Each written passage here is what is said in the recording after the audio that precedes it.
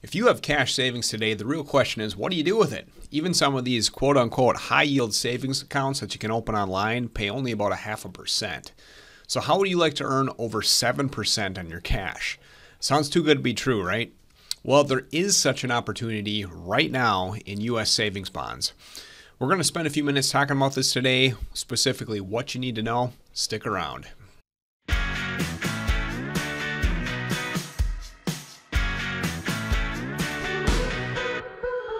The US government borrows money in a bunch of different ways. One avenue is by going directly to the public, and the public facing platform for this is this treasurydirect.gov, which you can see up here on the screen.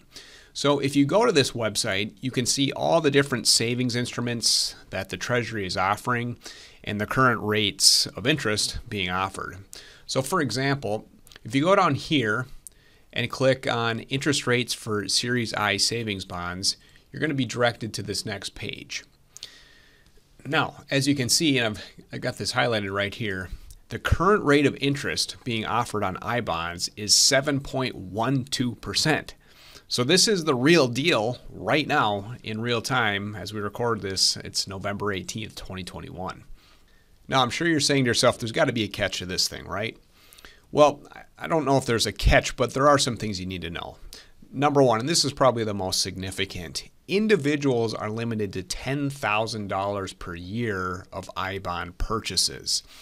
So, of course, for wealthier individuals, you know, $10,000 hardly moves the needle. But here's a couple of key things to point out.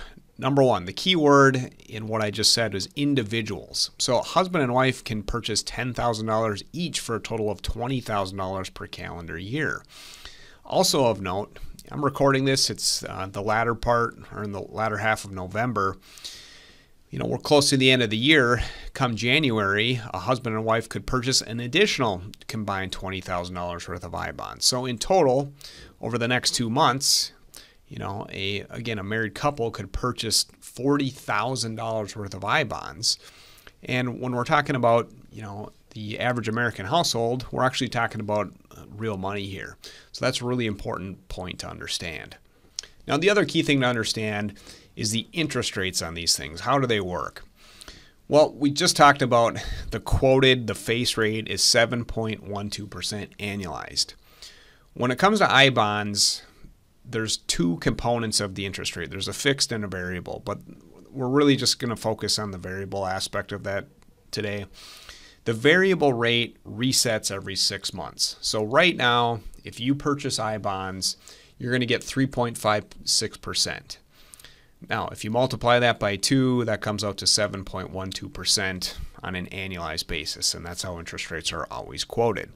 But the key thing to understand is if you purchase I bonds today, you're going to earn 3.56% over the course of the next six months.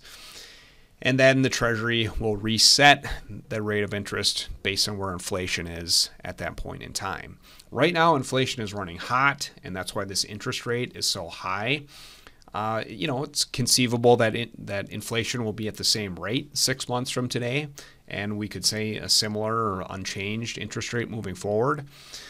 But this really kind of comes down to your individual view. What, what do you think inflation is going to be down the road? If you think inflation is going to cool, well, you know, the variable rate is also going to follow that on the downside. But likewise, if inflation gets hot like we saw in the late 1970s, I mean, it's possible that the interest rate could be higher. But the key thing to understand is this thing resets every six months.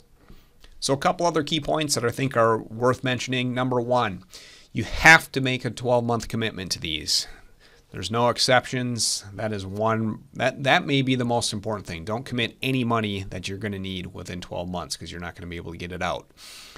Now, after 12 months, you can redeem, but if it's been less than five years, uh, you give back the most recent three months worth of interest, which frankly to me really isn't that big of a deal. That's a pretty generous uh, penalty, if you want to call it that.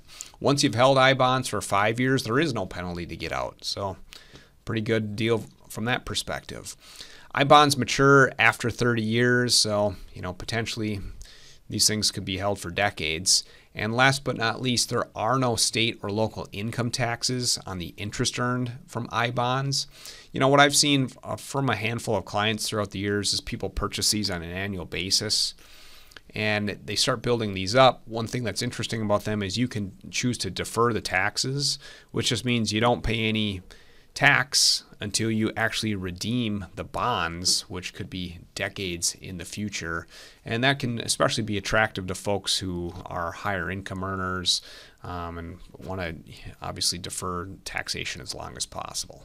So, look, if you have some cash, and you're looking for a better rate of return, I think I bonds look like a very attractive opportunity. In fact, this morning when I was reading about this, I literally went to treasurydirect.gov, set up my account. It took probably 10 minutes, and I purchased 10 grand worth of these I bonds. I did it myself. It wasn't that big of a deal. Um, again, this is something individuals have to do directly. Uh, you can't hire someone like me to do this for you. This is the Treasury going directly to the public. So it looks like an interesting opportunity, particularly if you think uh, inflation is going to continue to run hot uh, for the foreseeable future. This is a great way to earn. Potentially, if you're married, you could get forty thousand bucks in, into this instrument uh, over the course of the next two months. So, hey, thanks for watching today. If you want to find me out there on YouTube or Twitter, uh, here's my contact. You can also drop me an email. Our focus as a firm really comes down to retirement planning for individuals over age 50. Feel free to reach out. That's what we're here for. Thanks for tuning in. And as always, hope we'll see you next time.